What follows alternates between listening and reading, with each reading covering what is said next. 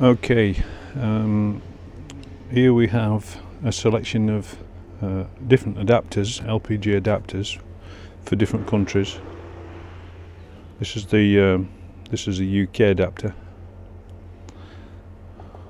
Uh, I believe this is for Italy, um, something like Germany, and then there's there's this other one. Uh, not exactly sure which country of origin that one refers relates to even. Um, this is the so-called non-return valve um, that these adapters connect to. So this attaches to your vehicle. This is the exposed part and the pipe goes from the back to the filler inlet of the LPG tank. Now uh, I've had an issue with this, um, had to replace it uh, I don't know if you can hear but it's I'll uh, stick my mouth to one side and suck and blow and you, you should be able to hear that there's actually the non-return bit is not working. So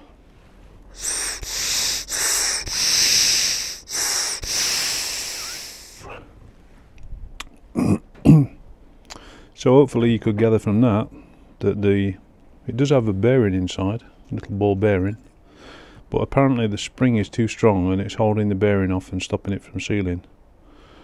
Uh, the effect of that is that um, when that's fixed to the vehicle and you screw your adapter to the said non-return valve um, it absolutely pours gas everywhere because the non-return function of this isn't working it basically empties the supply line to the tank each time you remove the filler cap. Now th this uh, took me by surprise first time I must say and uh, because you're getting from here you're getting a discharge of both liquid and vaporized gas. And uh,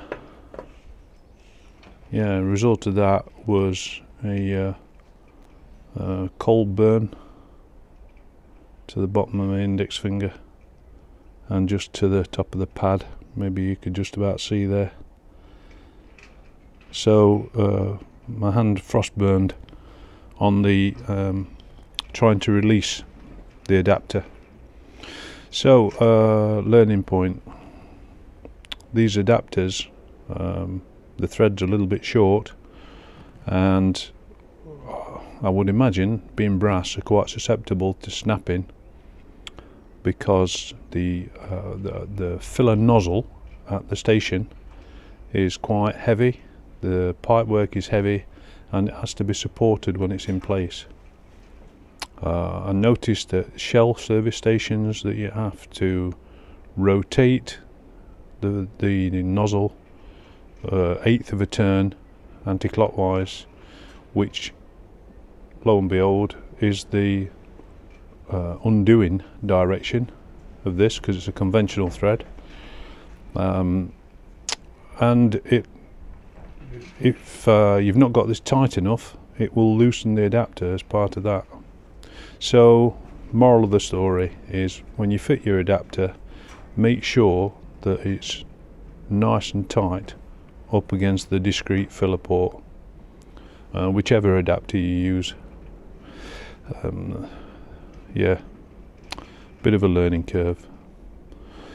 But anyway we've now obtained a replacement for this uh, and proved good. And on the old suck blow test that uh, that checked out whereas this one as you've heard it failed.